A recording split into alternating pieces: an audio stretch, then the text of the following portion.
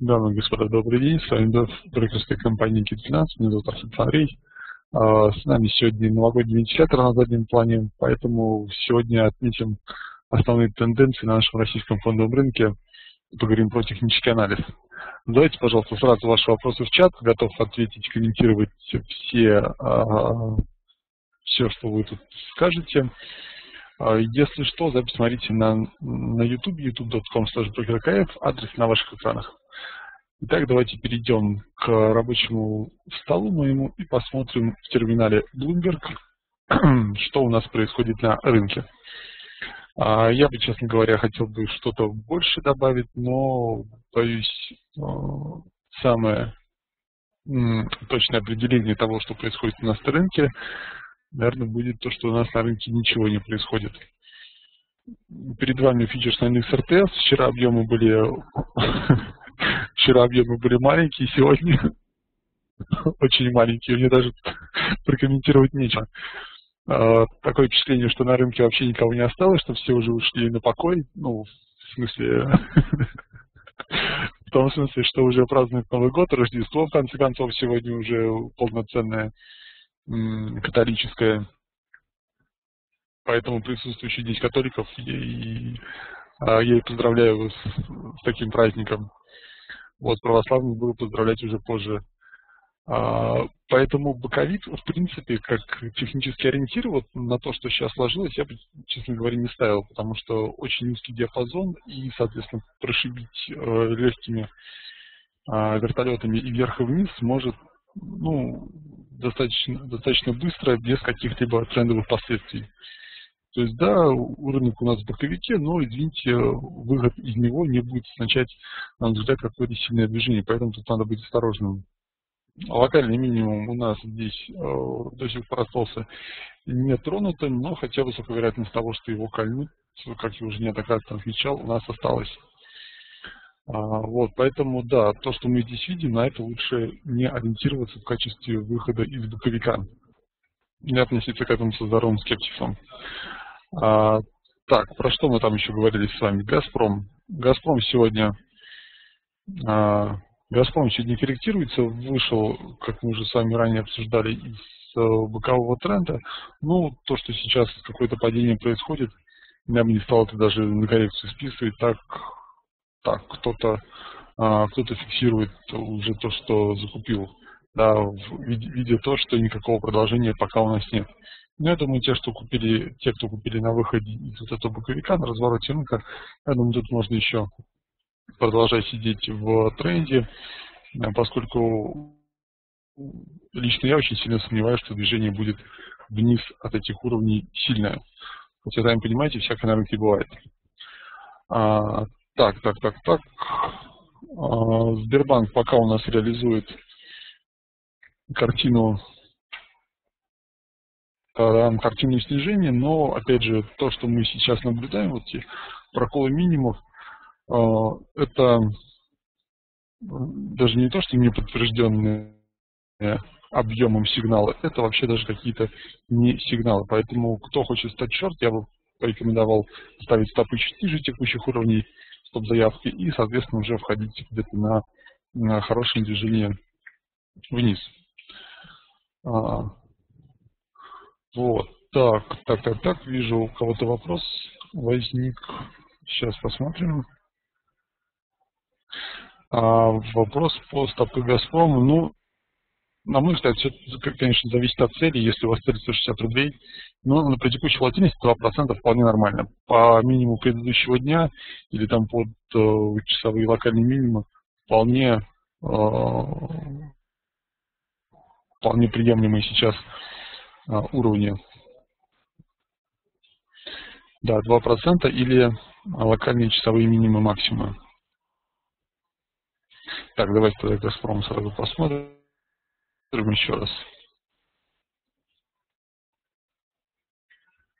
Ну, давайте посмотрим 2%. Это у нас примерно, ну, примерно как-то так.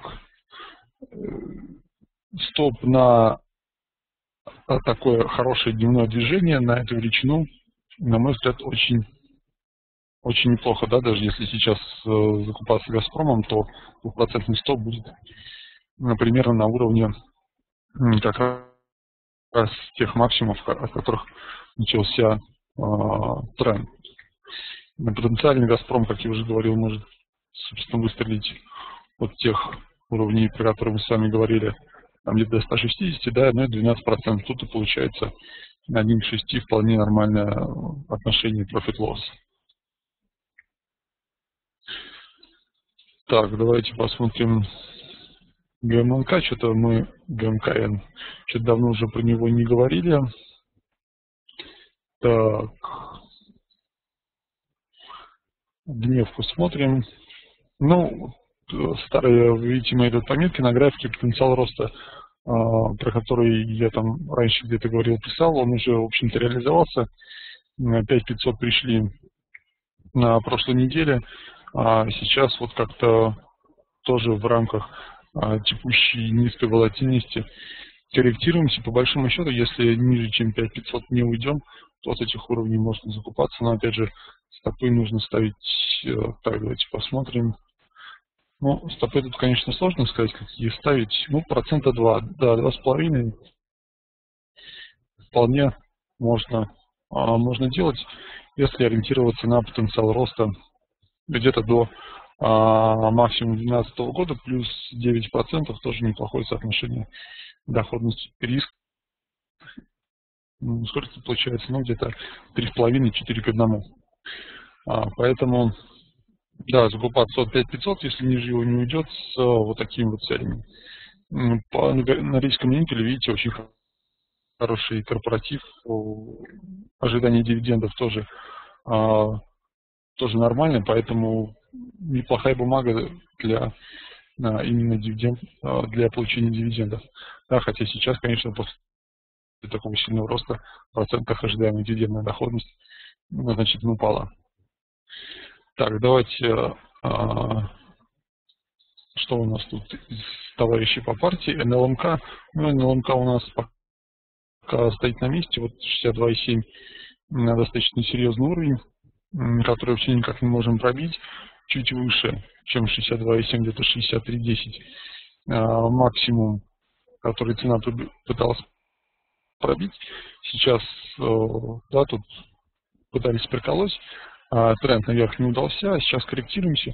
Но я думаю, что раз уже один а, тестовый пробой был, еще раз на 63.50 а, можно делать 63.50 еще раз можно делать уровнем для покупок.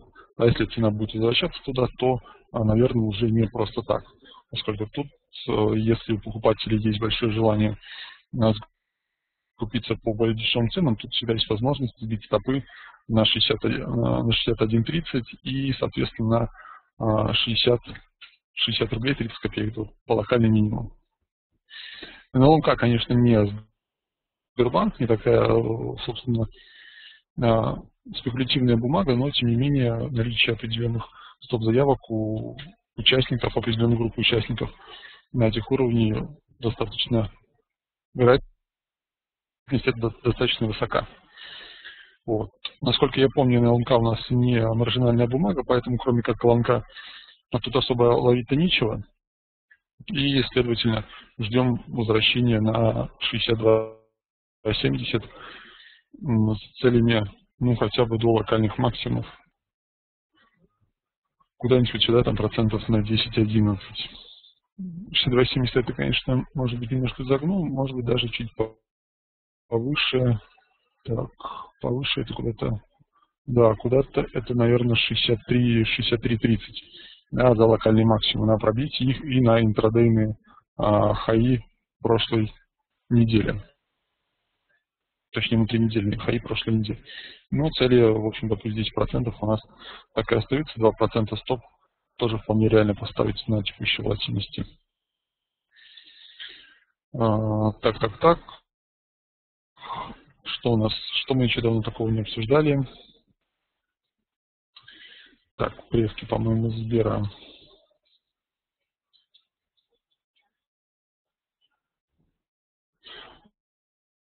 Ну, по префам Сбера я до сих пор остаюсь, в общем-то, в ожидании роста 69 рублей максимум мы с вами не пробили.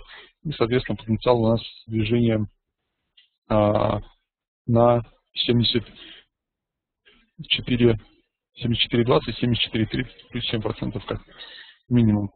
Здесь у нас распродаж не последовало, соответственно, стопы тут, тут стопы, значит, не стояли.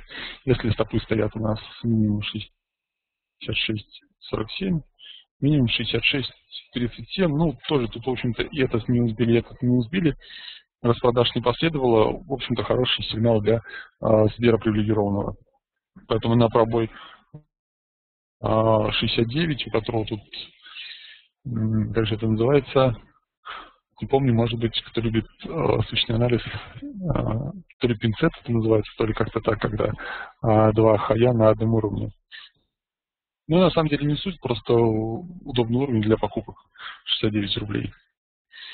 Так, и ВТБР. А, ВТБР заявочка была. Все то же самое, что и Газпром, склоняюсь э, к продолжению роста коррекции, тут какая-то у нас и возникает, да, такой вяленький рост, вроде как трендовая, вот около трендовой поддержки пытаемся подойти, скорее всего будет ретест вот этого максимума, от которого мы ушли вверх. Но пока поводов для распродаж активных я не вижу и технически все-таки ориентирован на движение к верхней границе. А, так, ну, в общем-то, все из основной а, информации. Так, давайте сейчас посмотрю ваши вопросы. Вопросов я смотрю как-то сегодня минимальное количество.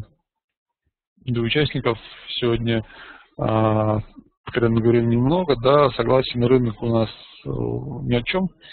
В общем-то, все стоим ждем, то, что мы сейчас обсуждаем, это уже скорее будет относиться или к а, какому-то, там, не знаю, двух-трехдневному ралли, которое может может быть у нас на рынке организован достаточно оперативно. А, при поддержке даже небольшого капитала, как видите, обороты у нас на уровне плинтуса, или уже то, что от чего плясать на следующий год и строить торговые идеи на следующие 12 месяцев. А, в общем-то, все. Спасибо за внимание. Спасибо, что были с нами. Встретимся, наверное, завтра в это же время в 16.00 будем также смотреть и что-нибудь интересненькое искать на этом вялом и, честно говоря, не очень интересном рынке. Еще раз спасибо за внимание. Всего хорошего, удачного, удачного торгового дня. До свидания.